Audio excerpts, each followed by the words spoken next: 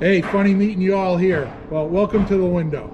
So we're outside and you can see here, here's each of those rafter tails coming down. So we call these the tails because that's the piece that extends beyond the wall. A couple things to notice on here.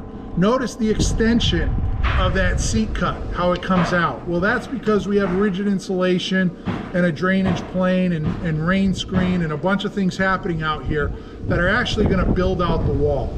So we had to plan for all that displacement of the rafter tail.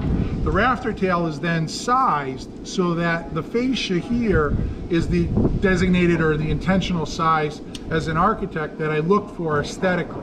Now, at the end of the rafter tail, you have two options. You have basically what I call the square cut, which is what we have here. Notice that the square cut, the cut is actually perpendicular to the slope of the rafter.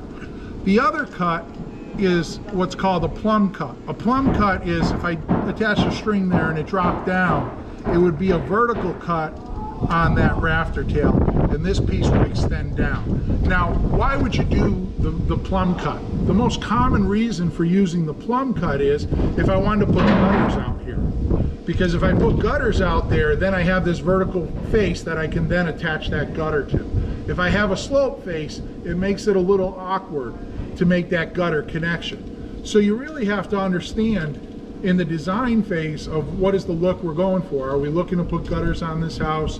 It's always a big question to ask up front because if we just went and designed this and said, hey, we're gonna have this really cool square cut fascia out here with some really nice stuff underneath happening in the soffit, and then the homeowner says, okay, well, can we put gutters on the house? Well, we're at a little bit of a loss. Now, they do make gutter systems that we can hang from the rafters and we can solve for it, but it's a far better solution if we use that plumb cut when we're setting up to use gutters.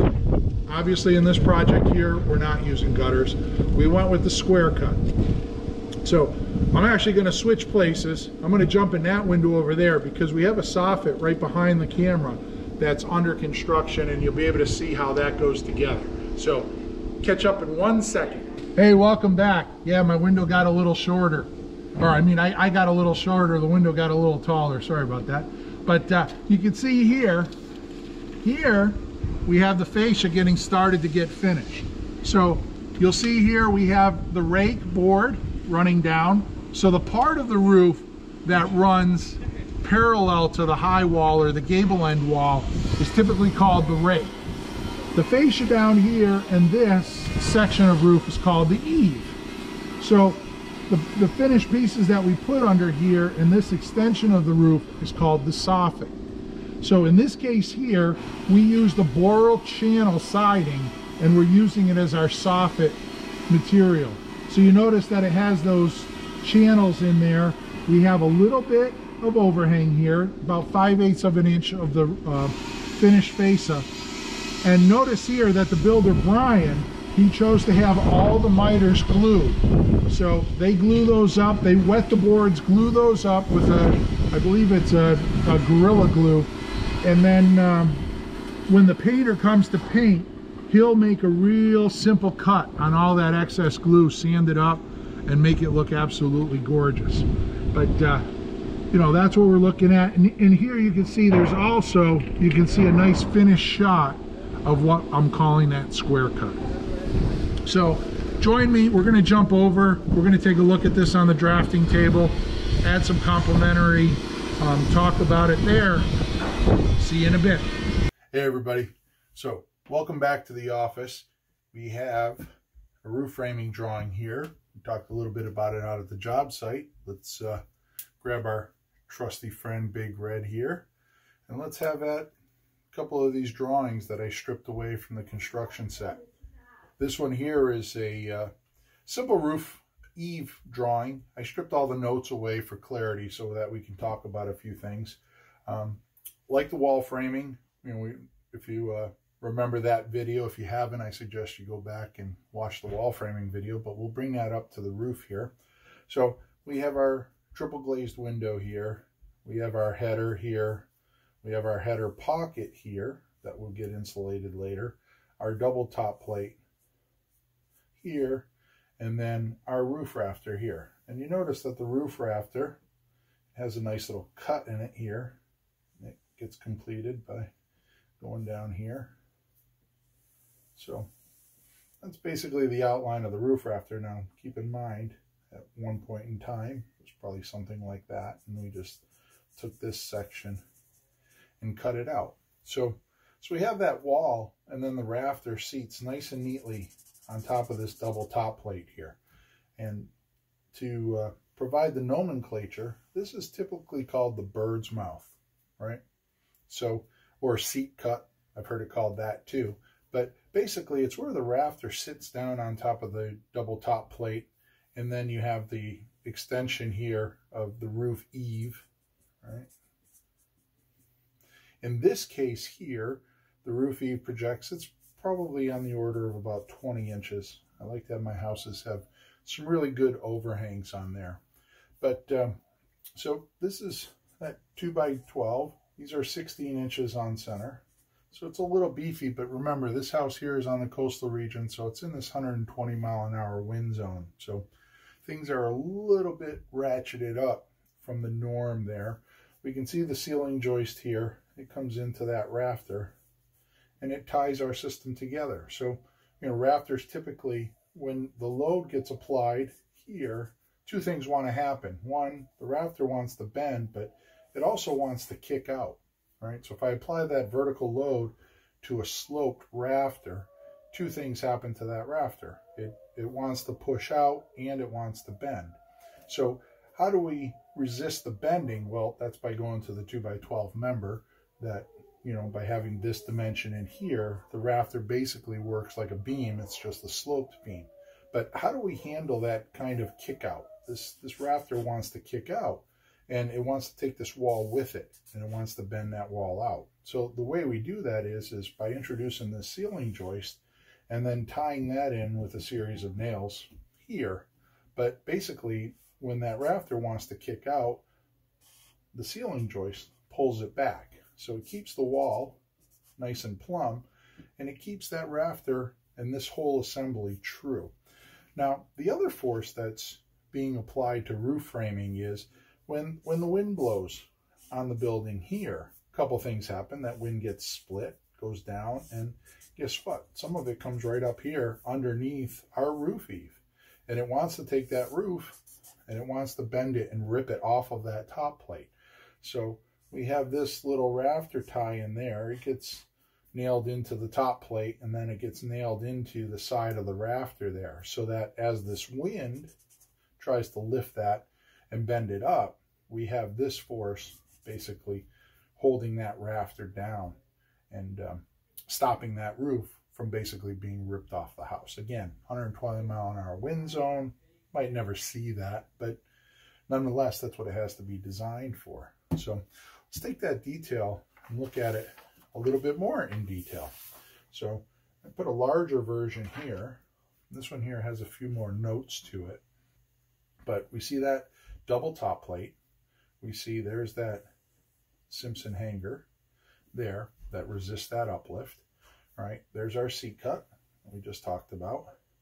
And then here's our rafter tail. Well, one of the interesting things about rafter tails is, is there's a couple ways to do the eave. In this case here, this is what I just call the rafter tail as opposed to a box eave where basically you bring the eave across here as flat and you box that all in.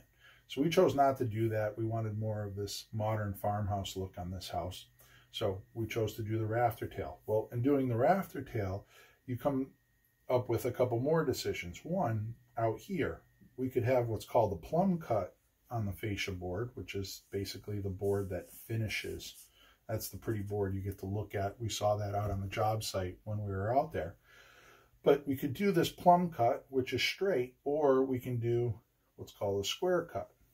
And the square cut is nothing more than a cut that's perpendicular or 90 degrees to our rafter, right? So it's basically square to the rafter tail. Now, why would you do one over the other? Well, the square cut has somewhat of a more contemporary feel and more farmhouse feel. Um, but most importantly, when the plumb cut comes into play is if I chose to put a gutter system out here. Now in this house, we knew we didn't. We had those 20 inch overhangs and we're handling the water down at grade and getting rid of it. It's actually a really good site for site drainage. So we didn't need the gutter. So we ruled out the plumb cut, went with the square cut. Now, the underside here is a soffit, and you saw out there we just had the beginnings of it, but we have a little channel soffit, so you get to see those nice little channels there extend down the soffit. and the rafter tail, we have our standing seam metal roof on top. And we have a couple other things that are happening here. We have this block. Now, that block of wood, again, because of the wind zone that we're in, that block of wood is to keep these rafters from overturning, right? They want to turn um, either either way with the siding. So we need to put basically these blocks in between the rafters. So in plan, you'd have these rafters. The wall would be here. We'd have that overhang. These blocks go inside there. And they keep these rafters true. And they keep them from trying to turn away. So it gives you a nice stiff system. That, of course, is tied into the wall, tied into the Simpson hanger. You know, so that it works kind of as a complementary system. Rafter, wall, hanger, block. It's all working together so that when the wind blows, it's not up to just the rafters to fight the battle. It leans on the walls. The walls use the roof diaphragm. So there's a bunch of things that are at play that, you know, would certainly be a deeper dive than what we're going to go into today here. But a couple other things. You know, we talked about control layers earlier in, in one of the, the first videos there. If you haven't seen that, I encourage you to go back. Um, so if we take a look at this, obviously we have the nice big overhang. So any water that hits our roof, it's going to come down. It's going to come off the end here and it's going to drip a good distance away from the house. So that keeps our wall nice and dry. If you notice here, we have a nice space in our wall here. You know, this is set up to be a rain screen, and we're going to take a really deep dive into that. I have some upcoming videos where we're going to talk about the wall assembly specifically um, there. Our, our soffit here, now we're going to insulate this whole cavity, and this is going to be an unvented uh, roof system. So you notice there is no provision for a vent here in the roof. Um, and, you know, my, my rule of thumb is vent until I can't vent. And, you know, in this particular house, we're using the conditioned attic space to run a lot of our ductwork and utilities up there. So we made the choice to do it as an unvented roof assembly. Um, so that'll all, all get insulated. The wall obviously gets insulated there. But, um, but that's pretty much the roof framing. You know, like I said, we, we saw it out there on a job site. Um, here you, you have it in, in the drawing. We have our roof sheathing, our standing seam metal metal roof that's going in there. We can talk about that a little later. We have our nice square cut, gives us nice that modern feel, but we have this nice big overhang here, which, you know, a lot of people talk about water management. I placed a lot of emphasis on it on early on in the uh, control layer video. You know, water, number one killer of buildings. So you know, by putting this big overhang on this house, it's basically like putting an umbrella over the house. And the more water I can keep off of the wall, then the less work the wall has to do in drying out and keeping water from penetrating inside the wall. So, you know, just as the, the wall, rafter, roof sheathing, blocking all works kind of in concert, well, we want our water management and our airtight management and um, vapor management and thermal management all to work in concert with each other, right? So we wanted to put that package together so things are working in a very intentional, coherent, but most importantly, a continuous fashion. So, so that's roof framing. Hope you enjoyed it. Um, you know, I have some very good colleagues that are putting out some videos on the Build Show Network. Brent, Jake, Wade, Matt. I encourage you to uh, not only go and watch the ones that you haven't watched that I've uh, done, but uh, I encourage you to get out there and watch the videos that those guys are putting up. I watch them regularly and uh, they're putting out some great stuff. So look for me on the future. Um, we'll be putting up some more videos here on the Build Show. Thanks for joining me today.